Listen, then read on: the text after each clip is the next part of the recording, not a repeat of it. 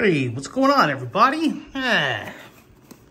So I ordered this from B&H Photo, my latest addition to my camera collection. Uh, 17 cameras, 32 lenses, uh, DSLR, digital, mirrorless, film, drone, Polaroid. This is for my Nikon DSLR arsenal of cameras. This is the Nikon mounted Tamron 70 to 200 2.8 um, ultrasonic vibration reduction autofocus.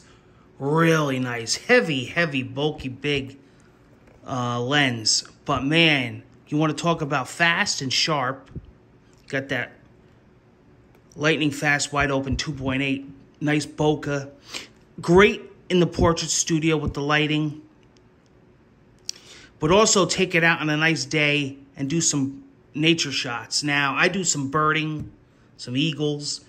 But you know i'm always doing headshots and whatnot in the portrait studio. So this is an all-around great lens. Um, you're going to get that nice bokeh. You're going to get that nice uh, depth of field with that wide open 2.8 and you know, you bring this into Photoshop and Lightroom and you're going to have a ball. So I had a lot of 2.8s. I mean, I'm a big fan of the, the Canon 2.8s, 2.4s. Um, you know, I had the, the um, F series of lenses from Canon. And I'm a big fan of Tamron. I have a lot of their macro lenses for when I do flowers. And I had my eye on this because I had the older models, and this is one of the newer ones. And there's quite a few different ones, but I got a really great deal. You know, B&H, I've been with them guys for years. I do a lot of business with them, you know. Um, they're right out of New York, so either I go there or I order from them on the pinch when I need them for something in the studio or if I'm doing a wedding. And, uh, you know, this will be good to throw on my backup camera when I'm doing a wedding shoot and say I got the 50 mil on, which I just got another nifty 50, I'll throw this on and I got, you know, nice telephoto. Um, but also have that nice depth of field zoom, you know, as opposed to having my 3 to 600 millimeter.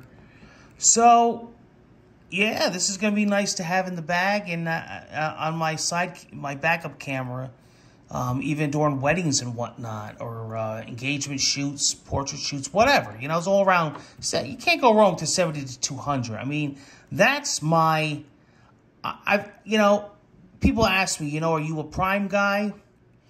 Well, I like the 35, I like the 85, I like the 50. I'm a big fan of the 50. I just like the effect that it, that it has. But you really can't go wrong with the 70 to 200. I think it's an all-around. I think you got to have you know, a 70 to 200 when you're a photographer, uh, especially when you're out in the field, especially when you're doing portraits. So, yeah, great, great uh, camera, great, you know, B&H hooked me up. I'm good friends with them guys down there. Um, I spend in the real high thousands a month there. So they gave me a good deal. And uh, they said, you know, the next one that comes in, we're going to let you know. And they did. I got a nice case on Amazon for it. So, uh, pretty cool stuff. Uh, maybe I'll post some pictures up if I do some testing with it. All right, guys, take care, and I'll see you again on the next MurrayNJ08 video. Later, guys.